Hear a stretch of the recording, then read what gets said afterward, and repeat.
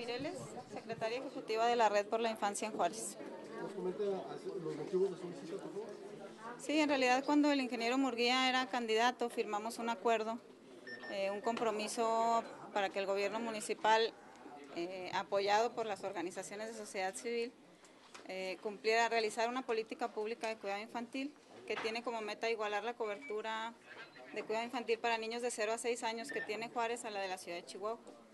Y eso implica ampliar la cobertura en 6.000, o sea, 6.000 niños más de 0 a 6 años eh, tendrían acceso a un espacio de cuidado infantil, a una guardería, a una estancia de calidad eh, durante los próximos tres años.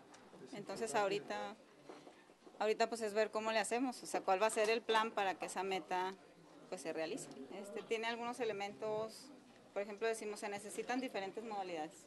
O sea, se necesitan más centros de bienestar, más estancias de sede sol, más casas de cuidado diario, más guarderías del IMSS.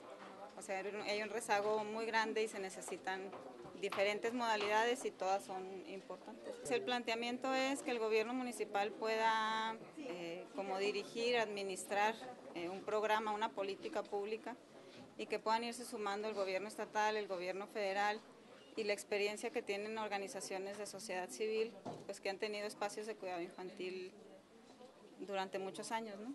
Y también la intención es que se pueda priorizar el poniente y las zonas de crecimiento, que son las zonas con más niños, eh, de mayor pobreza y que tienen menos cobertura de cuidado infantil.